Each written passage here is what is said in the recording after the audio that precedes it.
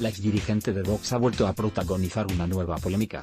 Esta vez ha sido en las redes sociales con un tuit que constata su nueva posición sobre la violencia machista. La ex candidata de Vox a la Junta de Andalucía, Macarena Olona, trae de cabeza a sus fans y a sus ex admiradores por igual, desconcierta a propios y extraños. Y se gana las críticas de muchos ciudadanos que encuentran incomprensible lo que parece ser un cambio de posición muy acusado sobre la violencia machista. Y es que la nueva Olona ha publicado varios tweets en los que parece acercarse a las tesis feministas que recuerdan a las que defienden desde el PSOE y Unidas Podemos. Tal cual. En uno de ellos, la exmusa de Vox, asegura que al negacionismo de la violencia machista se le combate con educación. A continuación, ofrece algo parecido a una definición de violencia machista que, parece decir, es la responde a estereotipos propios de la cultura patriarcal. Este tuit, y algún otro, ha causado una gran indignación en las redes sociales entre muchos tuiteros.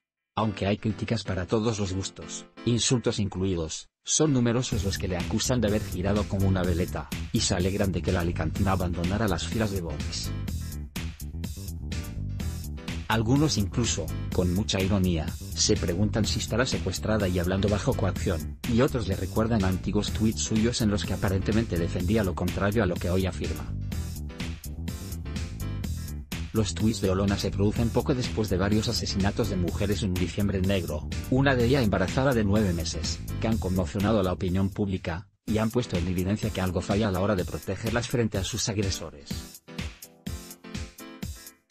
Lo cierto es que casi nadie ha entendido sus explicaciones, y le recuerda cuando defendía de manera apasionada la idea de que el hombre no mata, mata al asesino, el hombre no maltrata, maltrata al maltratador.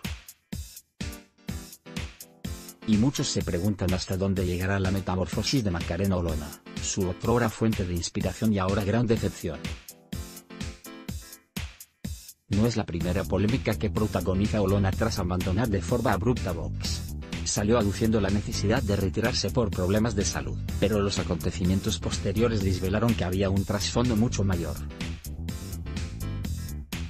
La campaña de Andalucía no resultó como se esperaba, sus discrepancias con algunos dirigentes del partido fueron claras, y notorias y a partir de ahí se abrió una guerra pública con su antigua formación.